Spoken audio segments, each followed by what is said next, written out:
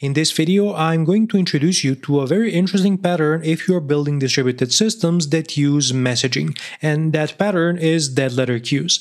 I'll explain what dead letter queues are, why you need them, and how you can implement them using Amazon SQS. I'll start from the drawing board to explain what a dead letter queue is.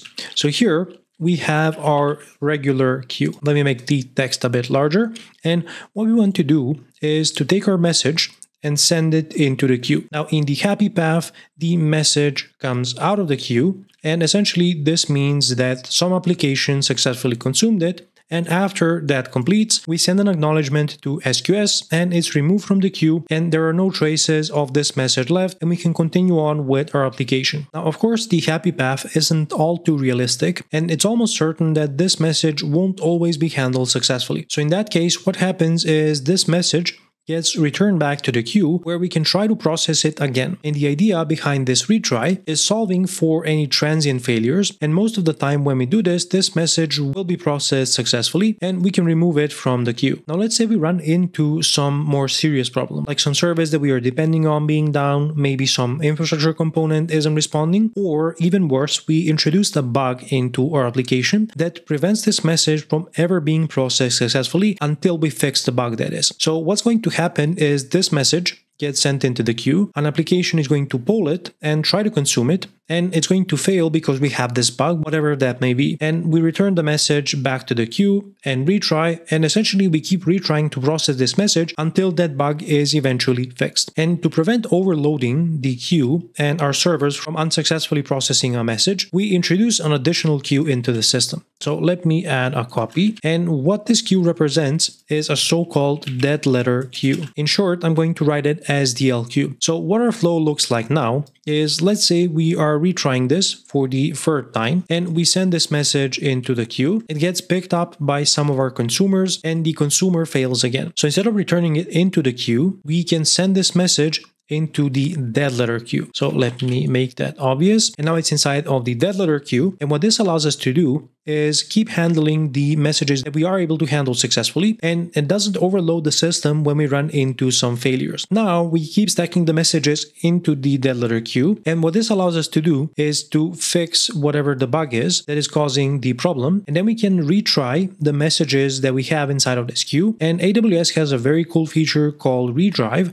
that allows us to take the messages in the dead letter queue and send them back to the original queue to be processed by our application. I'll show you how we can implement this in practice in just a moment, but one more thing I want to highlight is you will need some sort of monitoring into the dead letter queue so that you can get a notification from your alerting system when you get too many messages in the dead letter queue. This should notify you that there is some sort of problem and you should probably look into that and figure out what is causing the spike of messages in the dead letter queue. Now let's go into AWS and I'll show you how we can set this up. So I already have some queues configured, but let me show you what we can do when we create a new queue. I won't bother with adding any values for now. I want to show you you this part here, which is called dead letter queue. By default, it's disabled, but if you turn it on, you can choose some other queue in SQS that is going to act as the dead letter queue for the one you have configured. So because I have two other queues here, I can configure one of them as the dead letter queue, and then I can configure what is the maximum number of receives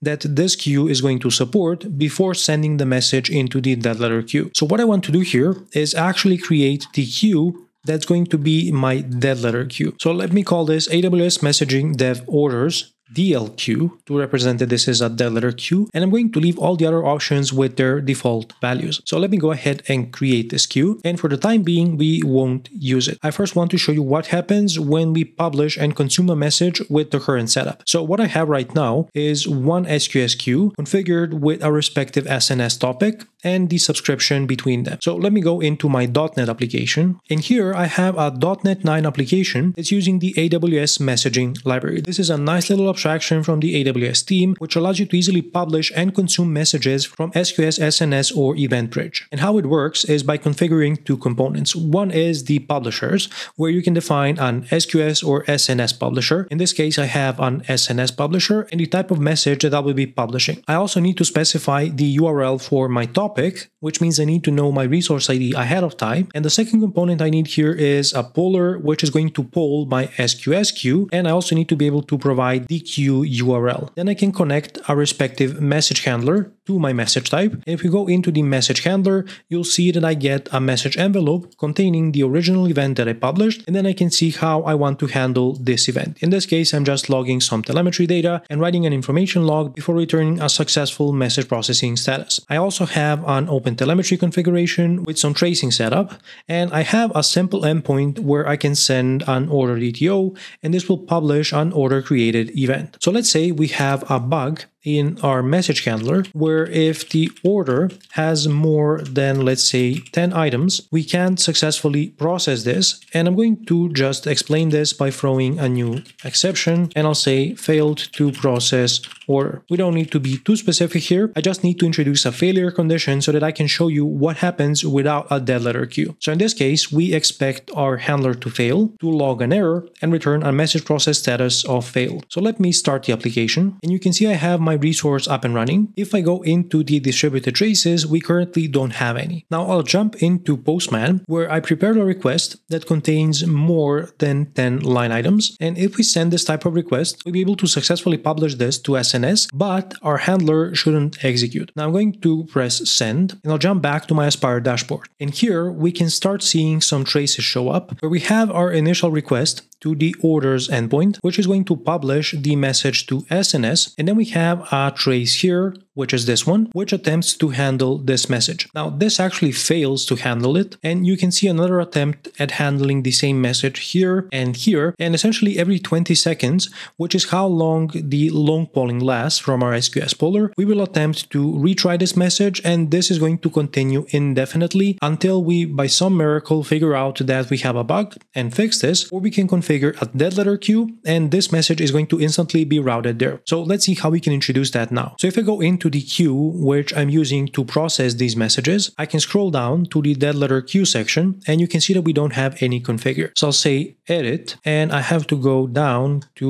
dead letter queue and click enabled. I'll choose the dedicated queue which we created, AWS Messaging Dev Orders DLQ as my dead letter queue and let's say that we are conservative and we want to allow up to three receives in this queue before we route the message into our dead letter queue. So I'll go ahead and persist this and now we have a dead letter queue queue configured. If I go back to the queues and I refresh this, you can see that we are currently polling for one message, which is why we have one here. And after this reaches three attempts, we're going to reroute this message into the dead letter queue. If I go into the traces, I can see one attempt here. And let's assume that this was the first one. And if I see one more, which should fail, then we can expect to see this message show up inside of our dead letter queue. So if I refresh this now, you can see that we have one message available inside of our DL queue. Now to make this more interesting, I'm going to publish a bunch of messages from Postman just so that we have more messages inside of our dead letter queue. And now in total, I have 17 messages inside of my dead letter queue. So what can I do with the messages inside? Well, AWS has a feature called DLQ redrive, which allows us to take the messages inside of the dead letter queue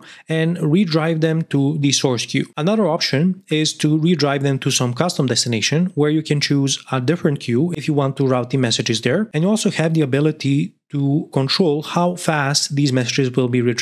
So you can use some sensible default value which SQS is going to configure on its own, or you can set the maximum number of messages per second. So I can set this to let's say 5 messages per second, or I can decide to use the system optimized value. Let's say I want to use this option. You can also inspect what the messages are inside of the queue by polling for the messages. And if we take a look inside, we can see that the contents inside contain our order created event with a large number of items inside, which is what caused the failure. Now let's go back to the application and let's say we fix this by just omitting this if statement here and redeploy our application.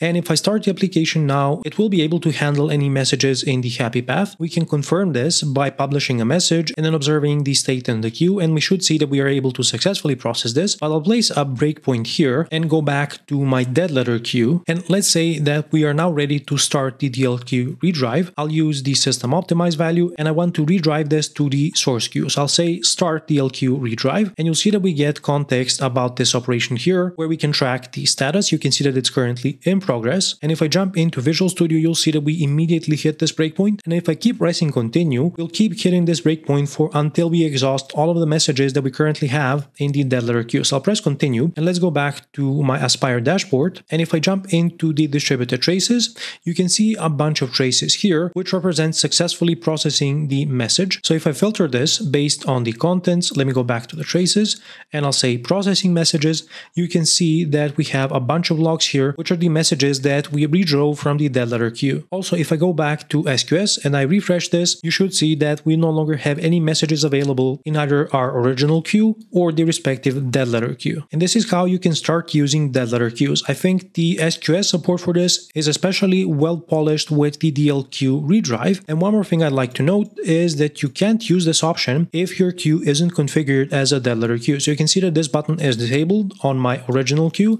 but if I go into my dead letter queue, I can start a redrive assuming I have any messages inside. If you want to grab the source code for this video, you can do that for free from the pinned comment that's going to be right below this video. And if you want to learn more about infrastructure as code and how you can use that to configure your SQS queues and subscribe them to any topics, then I recommend watching this video next. Make sure to smash the like button if you enjoyed this video, and until next time, stay awesome.